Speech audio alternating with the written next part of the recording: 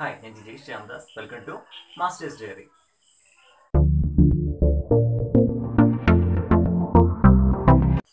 അപ്പോൾ പറഞ്ഞുകൊണ്ടിരുന്നത് Russian revolution അല്ലെ റഷ്യൻ വിപ്ലവത്തെ കുറിച്ചായിരുന്നു. നമ്മൾ പറഞ്ഞത് ഫെബ്രുവരി വിപ്ലവം വരെ അല്ലേ?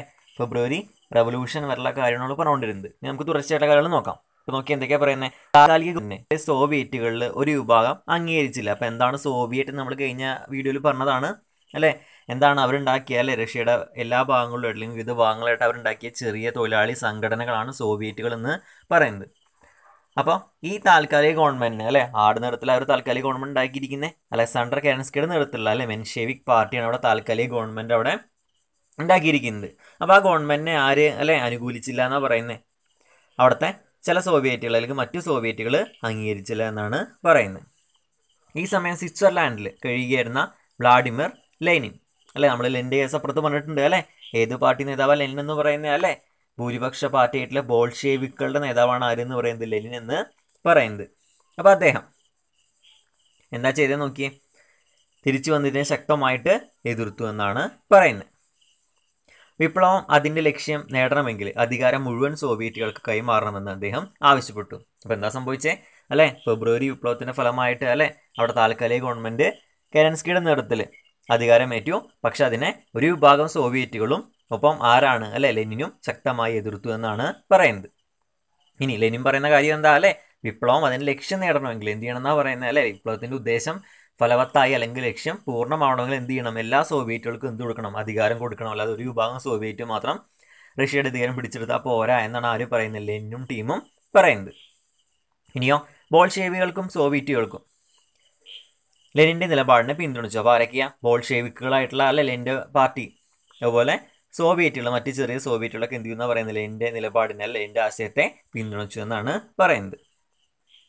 നൂറ്റാണ്ടുകൾ പഴക്കമുള്ള സാമ്പത്തിക പിന്നോക്ക അവസ്ഥയും ജനങ്ങൾക്കിടയിലെ അസമത്വവും ഇല്ലാതാക്കാൻ ഒരു തൊഴിൽ വർഗ തൊഴിലാളി വർഗ ഭരണകൂടത്തിന് മാത്രമേ കഴിയുകയുള്ളൂ എന്ന് ബോൾഷേവിക്കുകൾ പ്രചരിപ്പിച്ചു. അപ്പോൾ എന്താ പറയുന്നത്? എത്രയോ കാലമായിട്ട് അവിടെ സാമ്പത്തികമായിട്ട് പിന്നോവസ്ഥ പിന്നോക്കാവസ്ഥയുണ്ട് അല്ലെ? സാമ്പത്തികമായിട്ട് പൈസപരമായിട്ട് പിന്നോ പിന്നോട്ട് നിൽക്കുന്ന വിഭാഗമാണ് അവിടുത്തെ സമൂഹത്തിലുള്ള ജനങ്ങൾ പിന്നെ അസമത്വം അല്ലെ? ഇനീക്വാലിറ്റികൾ ഉണ്ട് അല്ലെ? അതൊക്കെ ഇല്ലാതാക്കാനായിട്ട്. ഒരു തൊഴിലാളി വർഗ ഭരണകൂടം അല്ലെ? തൊഴിലാളികൾ തന്നെ ഭരിക്കുന്ന ഒരു സമൂഹത്തിന് മാത്രമേ കഴിയുകയുള്ളൂ എന്നാണ് ആര് പ്രചരിപ്പിക്കുന്നത്? ബോൾഷേവിക്കുകൾ പ്രചരിപ്പിക്കുന്നത്. അവരുടെ പാർട്ടി നമുക്കറിയില്ല. എന്റെ പാർട്ടിയാണ് അല്ലേ? അപ്പോൾ ഇതിനായിട്ട് അവർ എന്ത് ചെയ്തു? കുറച്ച് ആവശ്യങ്ങളും മുന്നോട്ട് വെച്ചു എന്നാണ് പറയുന്നത്. അപ്പോൾ എന്തൊക്കെയാണ് പറയുന്നത്? അല്ലേ? താൽക്കാലിക ഗവൺമെന്റ് അധികാരത്തിൽ വന്നു. അപ്പോൾ ബോൾഷേവിക്ക് അല്ലെങ്കിൽ മറ്റു സോവിയറ്റുകൾ ലെനിനൊക്കെ ചേർന്ന് അതിനെ എതിർത്തു അല്ലേ? ഇനിയോ സാമ്പത്തികമായിട്ട് പിന്നോക്കം നിൽക്കുന്ന അസമത്വമുള്ള ഈ രാജ്യത്തെ അല്ലേ? കരകയറ്റ ആരൊക്കെ പറ്റൂ? നമ്മുടെ തൊഴിലാളികളുടെ നേതൃത്വമല്ല ഒരു ഭരണകൂടത്തിന് മാത്രമേ പറ്റൂ എന്നാണ് അവർ പറയുന്നത്. അതിനുവേണ്ടി അവർ മുന്നോട്ട് വെച്ച ആശയമാണ് ഇനി പറയാനായിട്ട് പോകുന്നത്. അപ്പോൾ എന്തൊക്കെയാണ് അവർ മുന്നോട്ട് വെച്ച ആശയങ്ങളെന്ന് നോക്കിയേ? ഒന്നാം ലോക യുദ്ധത്തിൽ നിന്ന് റഷ്യ പിന്മാറുക അല്ലേ? അപ്പോൾ റഷ്യ യുദ്ധത്തിൽ പങ്കെടുത്ത കേസൊക്കെ നമ്മൾ പറഞ്ഞതാണ്. അപ്പോൾ ആ യുദ്ധത്തിന് ആര് പിന്മാറണം? റഷ്യ പിന്മാറണം എന്നാണ് ആദ്യം അവർ ആവശ്യപ്പെട്ട നിർദ്ദേശം ഒന്ന് പറയുന്നത്. പിന്നീട് പറയുന്നതോ? പ്രഭുക്കന്മാരുടെ കൈവശമുള്ള ഭൂമികൾ പിടിച്ചെടുത്ത് അല്ലേ? കർഷകർക്ക് വീ വിതരണം ചെയ്ത് നൽകുക അല്ലേ? കർഷകർക്ക് എന്ത് ചെയ്യണം? വീതിച്ച് നൽകണം എന്നാണ് രണ്ടാമത്തെ ആവശ്യമായിട്ട് അവർ പറയുന്നത്. ഇനി മൂന്നാമതോ? ഫാക്ടറികൾ അല്ലെ? ജനങ്ങളുടെ പൊതു സ്വത്ത് ആക്കി മാറ്റുക. ജനങ്ങൾ എന്ന് പറയുമ്പോൾ ആരാ? അവിടെ തൊഴിലാളികൾ അല്ലെ? ഫാക്ടറി തൊഴിലാളികളുടെ പൊതു സ്വത്താക്കി മാറ്റുക അല്ലെങ്കിൽ മുതലാളിക്ക് ഉള്ള അവകാശം അതിനൊന്നും ഉണ്ടാവാനായിട്ട് പാടില്ല. അപ്പോൾ എന്തൊക്കെയാണ് മൂന്ന് കാര്യങ്ങൾ നോക്കിയേ. ഒന്നാമത് പറയുന്നത് അല്ലേ? ഒന്നാം ലോക യുദ്ധം ഫസ്റ്റ് വേൾഡ് വാർന്ന് പിന്മാറണം. പിന്നെ പ്രഭുക്കന്മാരുടെ കൈവശമുള്ള ഭൂമി അല്ലേ? ആർക്ക് കൊടുക്കണം? അല്ലെങ്കിൽ പണിയെടുക്കുന്ന കർഷകർക്ക് വീതിച്ച് കൊടുക്കണമെന്നാണ് പറയുന്നത്. മൂന്നാമത്തെയോ? അല്ലേ? ഫാക്ടറി ജനങ്ങളുടെ അല്ലെങ്കിൽ ഫാക്ടറികൾ എന്താവണം? ജനങ്ങളുടെ എന്താവണം? പൊതു സ്വത്ത് അല്ലേ? ആക്കി മാറ്റണമെന്നാണ് പറയുന്നത്. ഈ താഴത്തെ പാരാഗ്രാഫ് നോക്കി എന്താ പറയുന്നത്? ആയിരത്തി തൊള്ളായിരത്തി പതിനേഴ് ഒക്ടോബറിൽ ബോൾഷേവിക്കുകൾ താൽക്കാലിക ഗവൺമെന്റിനെതിരായി അല്ലേ? സായുധ കലാപം എന്താ? സായുധ കലാപം ഫസ്റ്റ് പറഞ്ഞിട്ടുള്ളതാണ് അല്ലേ? ആമഡ് റെബല്യൻ ആണ്. അതായത് ആയുധങ്ങൾ ഉപയോഗിച്ചുള്ള കലാപമാണ്. കെരൻസ്കി രാജ്യം വിട്ട് പോവുകയും റഷ്യ ബോൾഷേവിക്കുകളുടെ നിയന്ത്രണത്തിലാവുകയും ചെയ്തു. അപ്പോൾ നമുക്കറിയാം ബോൾഷേവിക്ക് വലിയ പാർട്ടിയാണ്. അവരും മറ്റു സോവിയറ്റും ചേർന്ന് വന്നാൽ അല്ലേ? ഇയാൾക്ക് പിടിച്ചു നിൽക്കാനായിട്ട് തീർച്ചയായിട്ടും സാധിക്കില്ല. കാരണം എന്താ? ഒരു ചെറിയ പാർട്ടിയാണ്. അപ്പോൾ അതുകൊണ്ട് അദ്ദേഹം രാജ്യം വിടുകയും അല്ലേ? റഷ്യ എന്തായി? ബോൾഷേവിക്കുകൾ നിയന്ത്രണത്തിലാവുകയും ചെയ്തു. ബോൾഷേവിക്കുകൾ അധികാരം ലഭിച്ച ഈ സംഭവം അല്ലേ? ബോൾഷേവികൾക്ക് അധികാരം ലഭിക്കുകയല്ലേ ചെയ്തിരിക്കുന്ന? ആ സംഭവത്തെ നമുക്ക് എന്ന് പറയാം. ഒക്ടോബർ വിപ്ലവം നമുക്ക് പറയാം. ലക്ഷ്യം കണ്ട പ്രകാരമാണ് ഒക്ടോബർ. ഇനിയോ? തുടർന്ന് സോവിയറ്റുകളുടെ സമ്മേളനം ചേർന്ന് ലെനിൻ അധ്യക്ഷനായ ഒരു ക്യാബിനറ്റിന് രൂപം നൽകി. അപ്പോൾ എന്തൊക്കെയാണ് പറയുന്നത് മൂന്ന് ആവശ്യങ്ങളാണ് അവർ മുന്നോട്ട് വെച്ചത് അല്ലേ? പിന്നെ പറയുന്നതോ? തൊള്ളായിരത്തി പതിനേഴിനാണ് ബോൾഷേവിക്ക് അല്ലേ? സാഹിത്യ കലാപം ആരംഭിച്ചു. ആരൊക്കെതിരെ? ഗവൺമെന്റിനെതിരെ അല്ലേ? കരൻസ്കേട് നേതൃത്വത്തിലുള്ള താൽക്കാലിക ഗവൺമെന്റിന് എതിരെ അദ്ദേഹത്തിന്റെ രാജ്യം വിട്ടു പോകേണ്ടതായിട്ട് വന്നു അല്ലെ? രക്ഷപ്പെട്ടു പോകേണ്ടതായിട്ട് വന്നു. പിന്നെ ആരുടെ കീഴില്ല എന്ന് പറയുന്ന റഷ്യ ബോൾഷേവികളുടെ നിയന്ത്രണത്തിൽ ആവുകയും അല്ലേ? അവർക്ക് അധികാരം ലഭിക്കുകയും ചെയ്തു. അപ്പോൾ മെൻഷേവികൾക്ക് അല്ലേ? കെരസ്കയുടെ കരൻസ്കേട് നേതൃത്വത്തിലുള്ള മെൻഷേവിക്കുകൾക്ക് അധികാരം ലഭിച്ച വിപ്ലവമാണ് എന്തെന്ന് പറയുന്നത്? ഫെബ്രുവരി വിപ്ലവം എന്ന് പറയുന്നത് അല്ലേ? ഫെബ്രുവരി റെവല്യൂഷൻ എന്ന് പറയുന്നത്.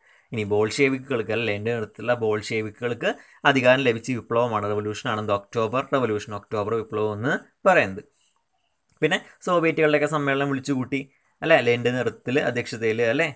അങ്ങനെ ഒരു മീറ്റിംഗ് ചേർന്ന് ബാക്കി കാര്യങ്ങൾ തീരുമാനിച്ചു എന്നാണ് പറയുന്നത്.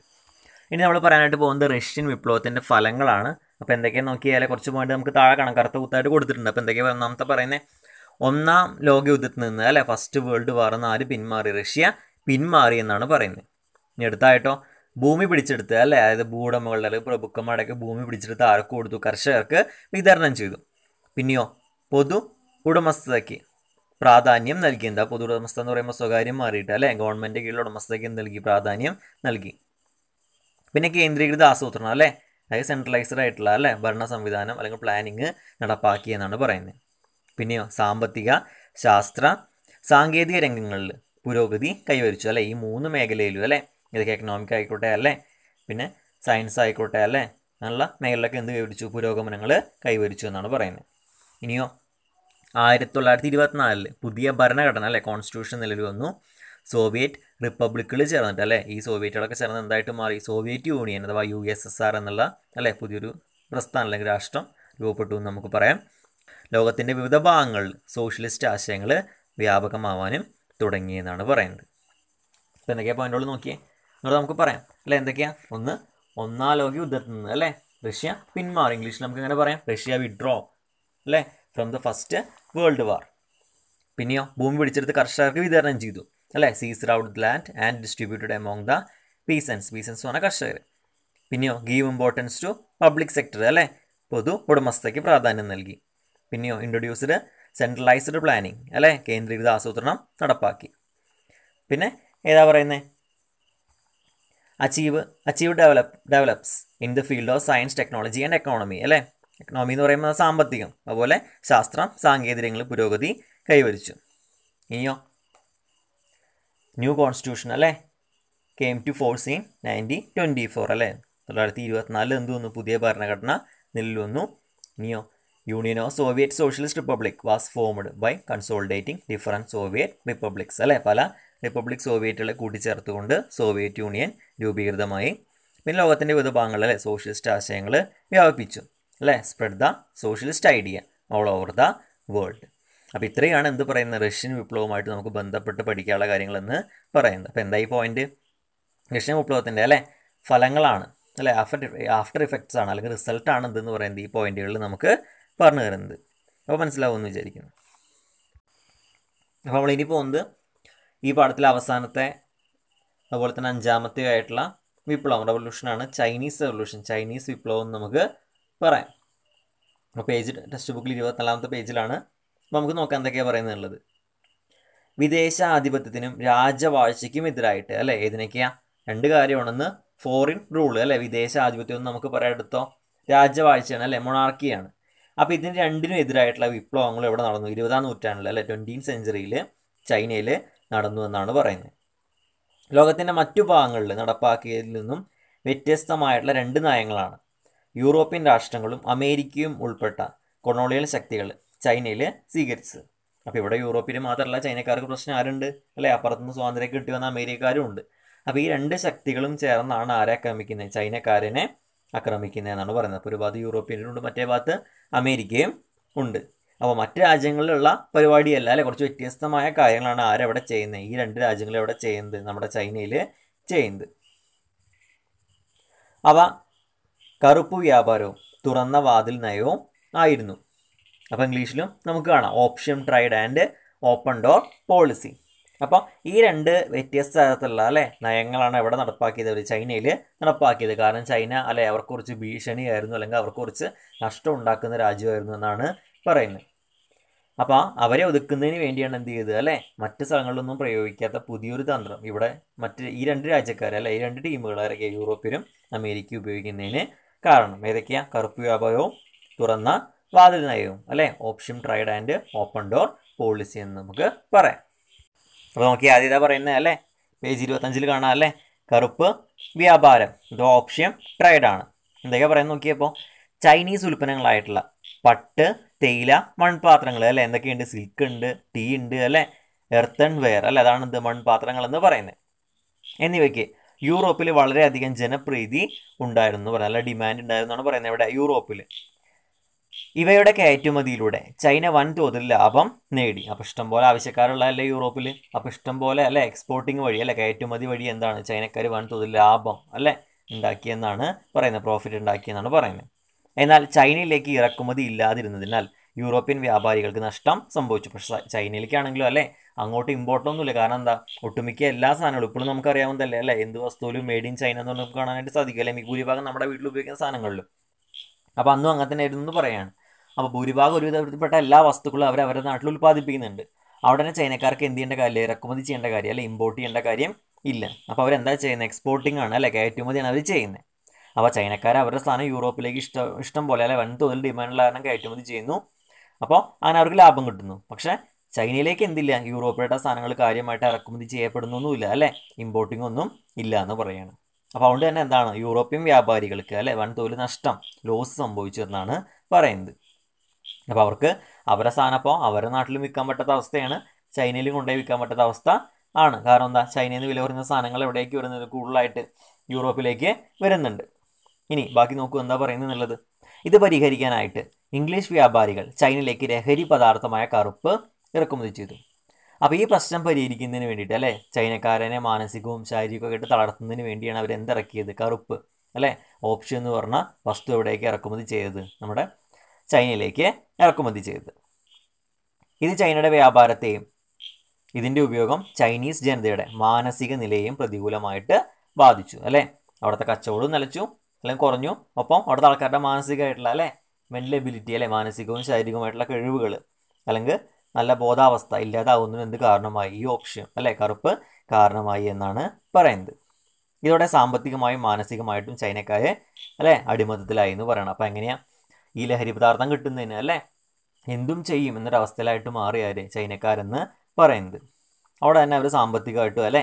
മാനസികമായിട്ടൊക്കെ എന്തായി? അല്ലേ? മറ്റു രാജ്യക്കാർക്ക് അടിമകളായിട്ട് മാറാനായിട്ട് തുടങ്ങിയെന്ന് പറയാണ്. അപ്പോൾ ഈ ലഹരി ഉപയോഗിക്കുന്നതുകൊണ്ട് തന്നെ അല്ലേ? കാര്യമായിട്ട് അവർക്ക് അല്ലേ? ബോധവും ബുദ്ധിയൊന്നും ഉണ്ടാവണമെന്നില്ല. ഇത് ഉപയോഗിക്കുന്ന കാരണം. അപ്പോൾ അതുകൊണ്ട് തന്നെ അവിടുത്തെ കച്ചവടവും മറ്റ് ബിസിനസ്സുകളൊക്കെ എന്തായി? ക്രമേണ കുറഞ്ഞു വരികയും അല്ലെ? അവർ അടിമത്തത്തിലാവുകയും ചെയ്തു എന്നാണ് പറയുന്നത്. ഇനി രണ്ടാമത്തെയാണ് എന്ത്? തുറന്ന വാതിൽ നിന്ന് അല്ലേ? ഓപ്പൺ ഡോർ പോളിസി എന്ന് നമുക്ക് പറയാം. ഇപ്പം എന്തൊക്കെയാണ് പറയുന്നത് പത്തൊമ്പതാം നൂറ്റാണ്ടിന്റെ അല്ലേ? നയന്റീൻത്ത് സെഞ്ചുറിയുടെ അവസാനമാകുമ്പോൾ നിരവധി യൂറോപ്യൻ രാജ്യങ്ങൾ ചൈനയിൽ വ്യാപാര ആനുകൂല്യങ്ങൾ കരസ്ഥമാക്കി. അപ്പോൾ എന്താ പറയുന്നത് പത്തൊമ്പതാം നൂറ്റാണ്ട് അല്ലേ? നയന്റീൻ സെഞ്ചുറിയുടെ അവസാനമാണ്. അപ്പോൾ എന്ത് സംഭവിച്ചു? കുറേ യൂറോപ്യൻ രാജ്യങ്ങൾക്ക് കച്ചവടം നടത്താനുള്ള അനുവാ അവകാശം അല്ലെങ്കിൽ അനുവാദം എവിടെ നിന്ന് കിട്ടി? ചൈനയിൽ നിന്ന് കിട്ടി. എന്നാൽ ഈ സമയത്ത് ചൈനയിൽ ശ്രദ്ധിക്കാൻ കഴിയാതിരുന്ന അമേരിക്കയ്ക്ക് ഈ ആനുകൂല്യങ്ങൾ അല്ലേ ലഭിച്ചില്ല എന്ന് പറയുകയാണ് അപ്പോൾ ആ സമയത്ത് എന്താണ് അമേരിക്ക വളർന്നു വന്നുകൊണ്ടിരിക്കുകയാണ്. പിന്നെ മറ്റ് രാജ്യങ്ങളാണ് അമേരിക്ക കൂടുതൽ ശ്രദ്ധയുണ്ടായിരുന്നത് അവിടെ എന്താണ് അല്ലേ? ചൈനയിൽ കൂടുതൽ ശ്രദ്ധ ചെലുത്താൻ കഴിയാത്തതുകൊണ്ട് ഈ ആനുകൂല്യങ്ങൾ കച്ചവടം നടത്താനുള്ള ആനുകൂല്യങ്ങൾ ആർക്ക് ലഭിച്ചില്ല? അമേരിക്കയ്ക്ക് ചൈനയിൽ ലഭിച്ചില്ല. അപ്പോൾ മറ്റ് രാജ്യങ്ങൾക്ക് കിട്ടി ആർക്ക് കിട്ടി? യൂറോപ്യൻ രാജ്യങ്ങൾക്കാണ് കിട്ടിയത്.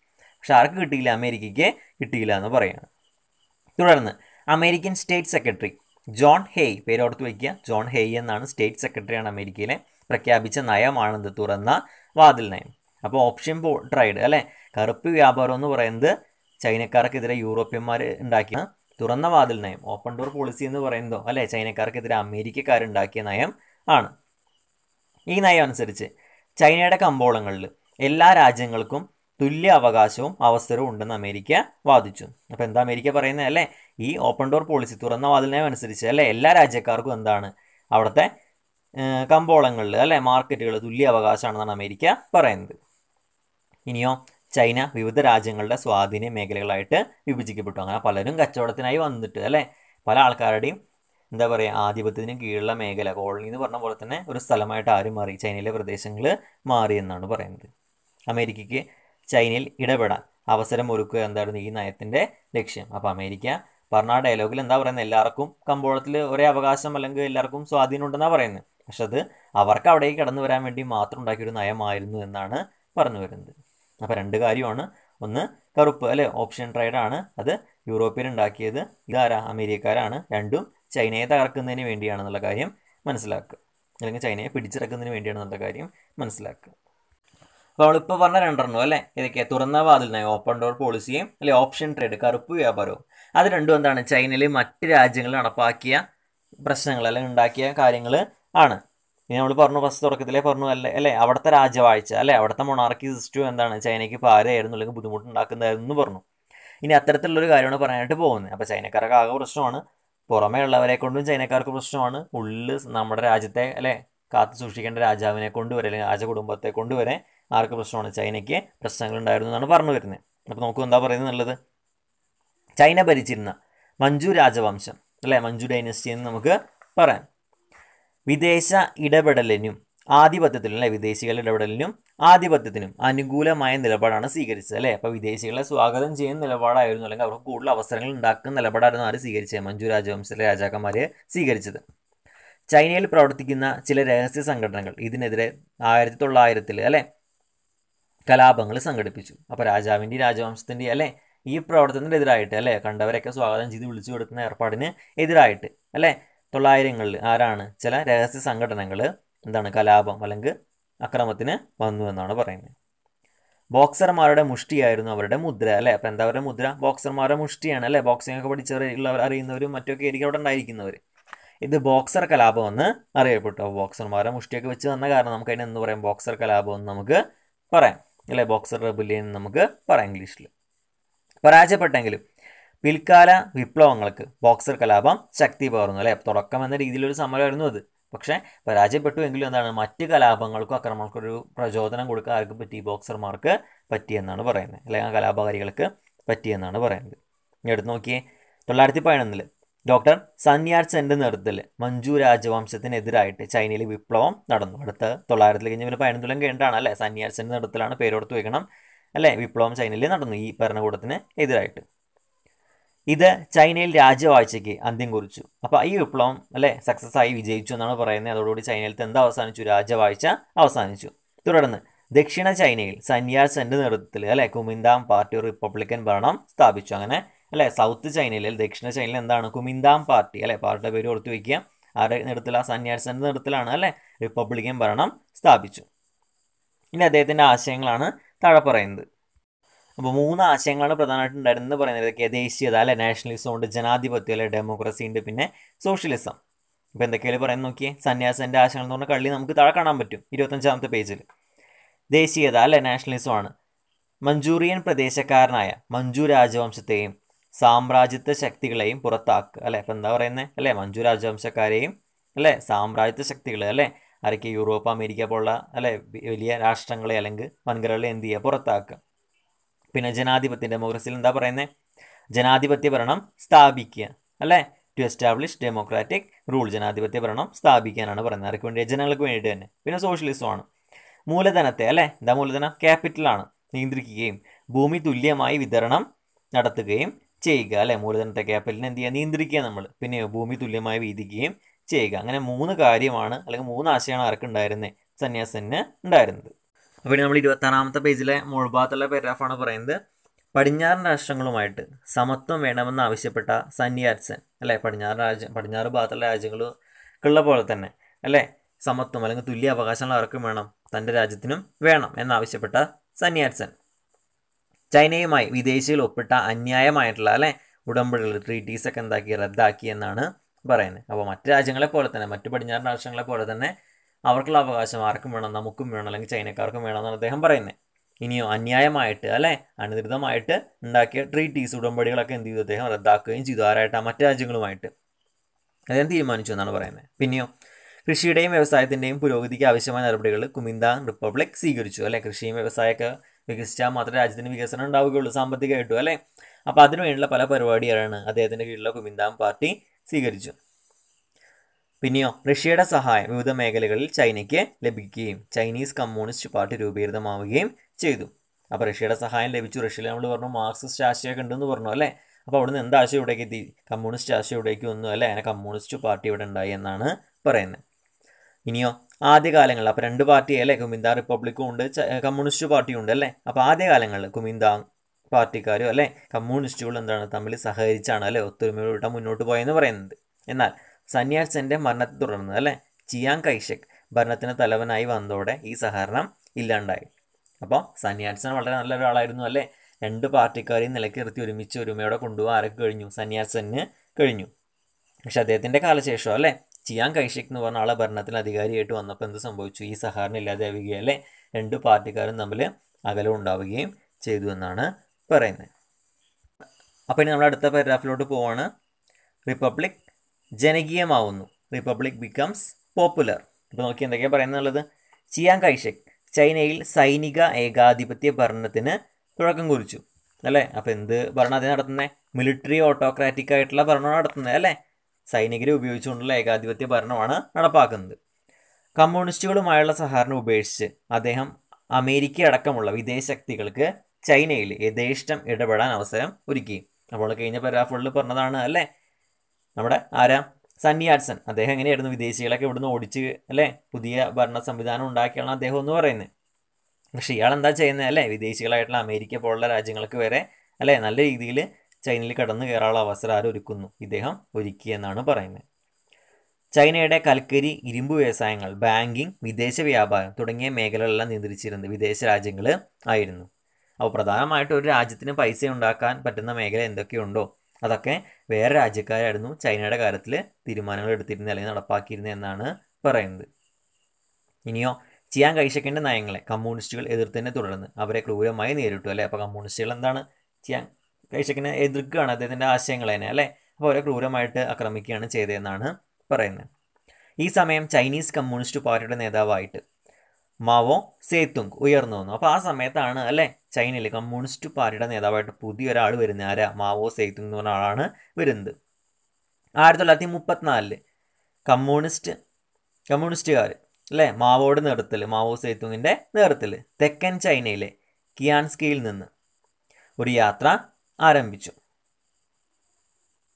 നിരവധി പ്രതിബദ്ധങ്ങൾ തരണം ചെയ്തുകൊണ്ടുള്ള അതിസാഹസികമായ ഈ യാത്ര വടക്കു പടിഞ്ഞാറ് യനാനിൽ അവസാനിച്ചു. അപ്പോൾ നമുക്ക് അത്രയും കാലം ഒന്നുകൂടെ പറയാം. ഇപ്പം എന്താ സംഭവിച്ചേ? ചൈനയിൽ അല്ലേ? ചെയ്യാൻ കൈഷക്കിന്റെ തരത്തിലുള്ള പുതിയ ഭരണകൂടമാണ് ഉണ്ടായത് ഇപ്പോൾ അല്ലേ? ഏകാധിപത്യ സൈനിക ഏകാധിപത്യ ഭരണമാണ്. അല്ലേ? മിലിറ്ററി ഓട്ടോക്രാറ്റിക്കുള്ള ഭരണം അദ്ദേഹം ഇപ്പോൾ നടത്തുന്നത്. അല്ലേ? കമ്മ്യൂണിസ്റ്റുകളെ വേണ്ട സഹകരണമൊക്കെ ഉപേക്ഷിച്ചു. പിന്നെയോ അല്ലേ? മറ്റ് വിദേശ രാജ്യങ്ങൾ അമേരിക്ക അടക്കമുള്ള എല്ലാ വിദേശ രാജ്യങ്ങൾക്കും അല്ലെ? ഒരു വിധപ്പെട്ട എല്ലാ വിദേശ രാജ്യങ്ങൾക്കും യഥേഷ്ടം അല്ലേ? എല്ലാ മേഖലയിലും ഇടപെടാനുള്ള അവസരം അദ്ദേഹം ഒരുക്കി. പ്രധാനപ്പെട്ട അവിടുത്തെ എല്ലാ കാര്യങ്ങളും നിയന്ത്രിക്കുന്നത് ആരാണ് ഇപ്പോൾ വിദേശികളാണ്. പിന്നെ കമ്മ്യൂണിസ്റ്റുകൾ അതിനെ ചോദ്യം ചെയ്തപ്പോൾ അല്ലേ? അവരെ ക്രൂരമായിട്ട് നേരിടുകയാണ് ചെയ്തതെന്ന് പറഞ്ഞു. അപ്പോൾ ആ സമയത്താണ് ചൈനയിൽ അല്ലേ? നേതാവായിട്ട് ആര് വരുന്നത്? മാവോ സേത്തും വരുന്നത്. അദ്ദേഹം എന്ത് ചെയ്തു? മുപ്പത്തിനാലിൽ അല്ലേ? മാവോയുടെ നേതൃത്വത്തിൽ തെക്കൻ ചൈനയിലെ കിയാൻസ്കിയിൽ നിന്ന് അല്ലേ? ഒരു യാത്ര ആരംഭിച്ചു. കുറേ പ്രശ്നങ്ങളൊക്കെ തരണം ചെയ്തുകൊണ്ട്. അല്ലേ? അതിസാഹസികമായിട്ട് ആ യാത്ര വടക്ക് പടിഞ്ഞാറ്. എവിടെയാ? ഏനാനിൽ അവസാനിക്കുകയും ചെയ്തു എന്നാണ് പറയുന്നത്. ഇനിയിപ്പോൾ നീ ബാക്കി നോക്കിയേ പറയുന്നേ. യാത്രയിലുടനീളം അല്ലേ? ധാരാളം കൃഷിഭൂമിയും അനേകം ഗ്രാമങ്ങളും പ്രഭുക്കന്മാരും നല്ല ലാൻഡ് ലോഡ്സ് എന്നൊക്കെ പിടിച്ചെടുത്ത് കർഷകർക്ക് നൽകി അല്ലേ? അപ്പോൾ ഭൂപ്രഭുക്കന്മാരെ കയ്യിൽ നിന്ന് അല്ലേ? ലാൻഡ് ലോഡുകളുടെ കയ്യിൽ നിന്ന് ഭൂമിയും മറ്റും പിടിച്ചെടുത്ത് ആർക്ക് കൊടുത്തു? കർഷകർക്ക് കൊടുത്തു. ഏകദേശം പന്ത്രണ്ടായിരം കിലോമീറ്റർ സഞ്ചരിച്ച ഈ യാർ ഈ യാത്ര അല്ലേ? ലോങ് മാർച്ച് എന്ന് അറിയപ്പെടുന്നു അപ്പോൾ പേരോടത്ത് വയ്ക്കുക ലോങ് മാർച്ച് എന്നാണ് പറയുന്നത്. ആണല്ലോ? എത്ര കിലോമീറ്ററാ പന്ത്രണ്ടായിരം കിലോമീറ്ററുള്ള സഞ്ചാരമാണ് പറയുന്നത്. ഇവിടുന്ന് എവിടേക്കാണ് പറയുന്നത്? അല്ലേ? കിയാൻസ്കയിൽ നിന്ന് എവിടേക്കാ? ഏനാനിലേക്കാണ് അല്ലേ? ഏനാനിലേക്കാണ് യാത്ര നടത്തിയിരിക്കുന്നത്. പന്ത്രണ്ടായിരം കിലോമീറ്ററാണ് തൽഫലമായിട്ട് വിദേശ ആധിപത്യത്തിനെതിരായ ചൈനീസ് ജനതയുടെ പോരാട്ടത്തിന്റെ പ്രതീകമായി കമ്മ്യൂണിസ്റ്റുകളും മാവോ സേത്തുങ്ങും മാറി. അപ്പോൾ അവരെന്തായിട്ട് മാറി എന്നാണ് പറയുന്നത്? അല്ലേ? വിദേശ ആധിപത്യത്തിനെതിരായിട്ടുള്ള ചൈനീസ് ജനതയുടെ പോരാട്ടത്തിന്റെ പ്രതീകവും അല്ലെങ്കിൽ മുഖമുദ്രയായിട്ട് ആര് മാറി എന്നാണ് പറയുന്നത് കമ്മ്യൂണിസ്റ്റ് പാർട്ടിയും അല്ലെ മാവോ സേത്തുങ്കും മാറി എന്നാണ് പറയുന്നത് അദ്ദേഹത്തിന്റെ നേതൃത്വത്തിലുള്ള ചുവന്ന സേന കുമിന്താങ് ഭരണത്തിന്റെ കേന്ദ്രം കൈക്കലാക്കിയതിനെ തുടർന്ന് ചിയാങ് കൈഷക് തായ്വാനിൽ രാഷ്ട്രീയ അഭയം തേടി. അപ്പോൾ എന്താ സംഭവിക്കുന്നത് സേനയുടെ പേരോടത്ത് നോക്കി ചുവപ്പ് സേനയാണ് അല്ലേ? കുമിന്താങ് ഭരണത്തിന്റെ കേന്ദ്രം കയ്യിലാക്കി എന്നാണ് പറയുന്നത് അപ്പോൾ അദ്ദേഹം അല്ലേ എവിടേക്ക് അഭയം തേടി? തായ്വാനിലേക്ക് രാഷ്ട്രീയ അഭയം തേടി. ഈ നാൽപ്പത്തൊമ്പത് അല്ലേ? ആയിരത്തി തൊള്ളായിരത്തി നാൽപ്പത്തൊമ്പതിലാണ് ഒക്ടോബർ ഒന്നിന് ചൈന മാവോ സേത്തുങ്ങിന്റെ നേതൃത്വത്തിൽ ജനകീയ റിപ്പബ്ലിക് ആയിട്ട് മാറി. ഇപ്പം എന്താ പറയുന്നത് അല്ലേ? മാവോ സേത്തുങ്ങിന്റെ നേതൃത്വത്തിലാണ് ചൈന എന്തായിട്ട് മാറിയത്? റിപ്പബ്ലിക് ആയിട്ട് മാറിയത്. ഇതുപോലെ പറയുന്നത് ആയിരത്തി തൊള്ളായിരത്തി നാൽപ്പത്തൊമ്പത് ഒക്ടോബർ ഒന്നിനാണ് ചൈന എന്തായിട്ട് മാറിയത്? ജനകീയ റിപ്പബ്ലിക് റിപ്പബ്ലിക്കായിട്ട് മാറിയതെന്നാണ് പറയുന്നത് അപ്പോൾ അത്രയാണ് ഇതിൽ പറയുന്നത്. നമ്മുടെ ചൈനീസ് വിപ്ലവം അല്ലേ? ചൈനീസ് റെവല്യൂഷനിൽ പറയുന്നത്. അപ്പോൾ അവിടെ രണ്ട് പ്രശ്നങ്ങളുണ്ടായിരുന്നു അല്ലേ? ഒന്ന് പുറമേ നിന്നുള്ള ആൾക്കാരെ കൊണ്ടുള്ള പ്രശ്നങ്ങളും ഉണ്ടായിരുന്നു. സ്വന്തം രാജ്യത്തെ ഭരണകർത്താക്കളെ കൊണ്ടുള്ള പ്രശ്നങ്ങളും ആരൊക്കെ ഉണ്ടായിരുന്നു? ചൈനക്കാർക്ക് ഉണ്ടായിരുന്നുള്ള കാര്യമാണ് നമ്മൾ മനസ്സിലാക്കേണ്ടത്. അപ്പോൾ നമ്മുടെ പത്താം ക്ലാസ്സിലെ സോഷ്യൽ സയൻസ് ഹിസ്റ്ററിയിൽ അല്ലേ? ഫസ്റ്റ് ചാപ്റ്ററിന്റെ നാലാമത്തെ വീഡിയോ ആണ് ചെയ്തിരിക്കുന്നത്. വീഡിയോ ഇഷ്ടപ്പെട്ടാൽ ലൈക്ക് ചെയ്യുക ഷെയർ ചെയ്യുക ചാനൽ സബ്സ്ക്രൈബ് ചെയ്യുക അല്ലെങ്കിൽ ഡിസ്ലൈക്ക് ചെയ്യുക. അപ്പോൾ അടുത്ത വീഡിയോ കാണുന്നതുവരെ ഗുഡ് ബൈ